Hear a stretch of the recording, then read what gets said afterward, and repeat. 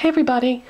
So today I'm going to show you how to fix your Maybelline colored tattoos that have dried out and this method also works with MAC paint pots. I was talking to one of you in the comments section um, yesterday or the day before and somebody was asking me about the Maybelline color tattoos, the limited edition ones and was I going to get any of them or did I get any of them. And I said no because the formula is so dry that um, it actually dries out the skin on my eyes and becomes painful. So then after I had responded to that comment, I was thinking about it and I thought, you know what? I got to do a video about this because there may be other people that have that problem too. And what I do is I sort of fix my color tattoos so that I can wear them. And so if your Maybelline color tattoos have dried out, or your MAC paint pots, or whatever you have for these cream eyeshadows that are in a jar, then you know that even if you put the cover on tight, they get dried out so fast.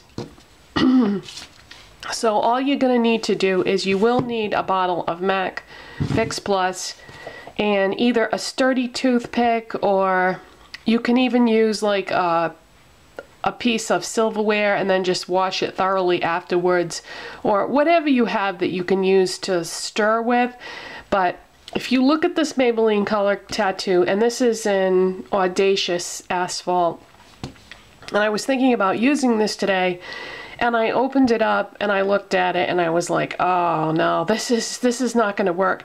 You can't really tell by looking at it, but trust me when I say that this is not usable like this because it's like cement.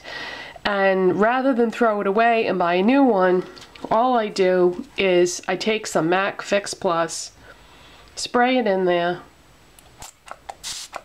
and I'm going to start with two squirts and see how that goes. And then I'm just going to take my toothpick and stir.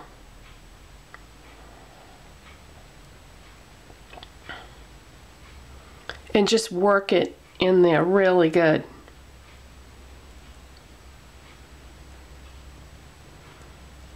Just keep stirring it because if you put too much initially,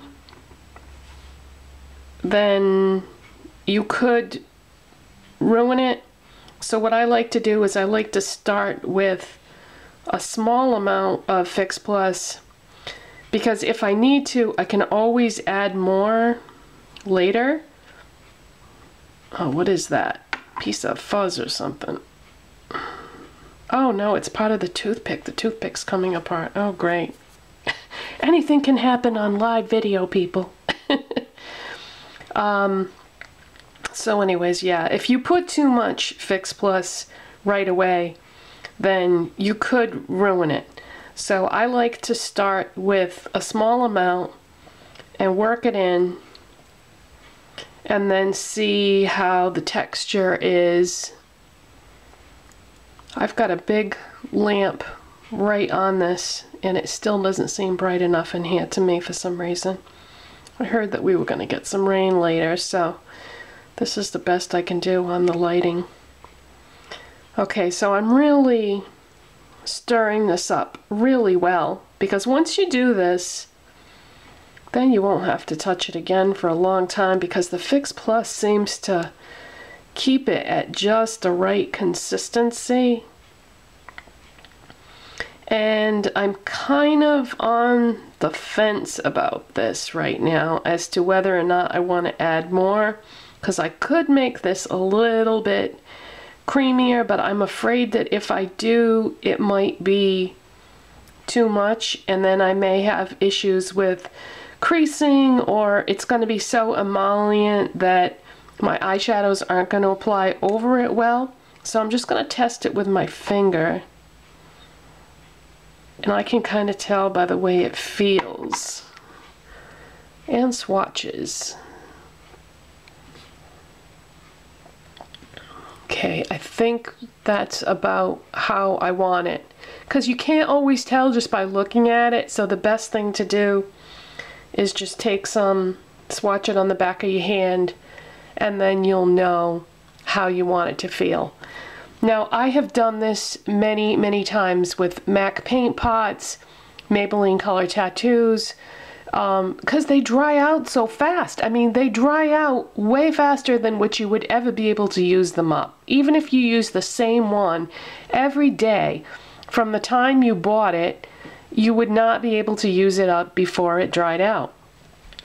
Um, I know that um, there are other methods out there of saving something that's been dried out and I'm not quite completely comfortable with those methods and you know they're out there they're on YouTube if you're curious but this is what I like to do I find that it brings it to a consistency for me even better than when I purchased it. It's not very attractive to look at. As you can see, it looks really strange, but in the scheme of things, that's not really important. What is important is that the product is going to be the right consistency for you to use on your eyes. I like to use these more as a colored base rather than on their own, but if I did choose to use it on my own, I think that that's about the right consistency. So I would say two squirts of MAC Fix Plus, and if you think, oh geez, that's a lot of money to spend on something just to fix my cream eyeshadows, but really you can use this for a lot of different things. Um, if you feel like your makeup is too powdery, when you're all done, if you really overdid it on the powder, powder products on your face, you can spray your face with it, let it let your face dry, and it really leaves like a beautiful finish. You can also do the same thing with um, your eye, eye makeup. The only problem that I have found with that is that if I open my eyes too soon, sometimes they sting a little bit, which, you know, I don't really like the idea of that. And also you can take some MAC pigments and you can wet your brush and then dip your brush in a little bit of MAC pigment and it really intensifies it and just makes it really beautiful and very dramatic and uh, know, intense. But so there's a lot, a lot of things that you can do with MAC Fix Plus and for me, I would rather have one bottle of this and save all my cream eyeshadows from getting thrown out. To me, it's worth it because two squirts, that's all you need, really, to bring this back to life and then some. I mean, this is a better consistency now than when I bought it. It's, like I said, it's really strange looking, but uh, I've never had any repercussions from doing this, and you don't have to do it that often. Like now that I fixed this, it's going to stay like this for a long, long time and I won't have to fix it again. I have never had to do it twice, but I would imagine that if it dried out again, I could just add more. But chances are, you know, I'm not going to have it for that long because once I've had my makeup for a certain amount of time, I do throw it away because I don't want to take any chances with getting any kind of an eye infection or anything like that. So once I've had um, any type of cream product, whether, whether it be a cream eyeshadow or a foundation, a liquid or cream foundation, anything like that, uh, I think two years is about the max that I would want to keep it. So this will probably, excuse me, this will probably stay good for you know, the, the rest of the duration because I think I've already had this for maybe a year. So I'll use it for another year or so and then I'll just throw it out.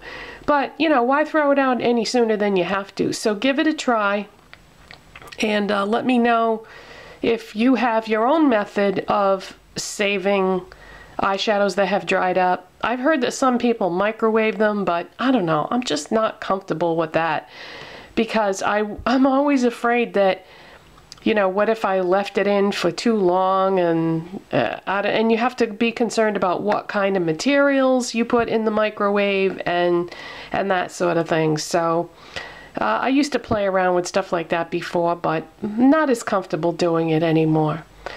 So um, that is it, you guys. And now this cream eyeshadow is ready to use, and I'll see you next time.